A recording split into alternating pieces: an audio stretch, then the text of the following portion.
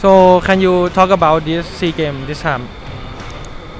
Not an easy tournament uh, because of the the Thai league still playing.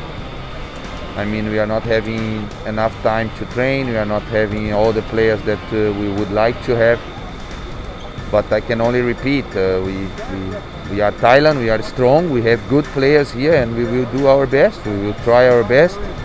We will try to find a good plan, a good strategy for each game and, and we will fight. This is what we can say.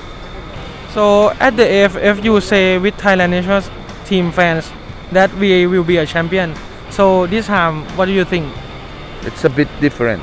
I said that in the Suzuki Cup because I knew we are gonna have all the players uh, and we would have a very very strong squad. I still believe that here we have also a strong squad, but we didn't get all the players that we are supposed to get. I mean, we have here enough good players to win, but we don't have all the players, especially the players that are playing regularly in the Thai league and are under 23, they are not with us. So it kind of tough time. So can you say something to to fans? I just want them to believe, to have faith on us.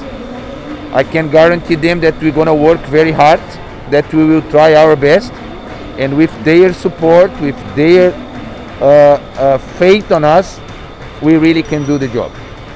ขอบคุณครับ thank you very much ครับ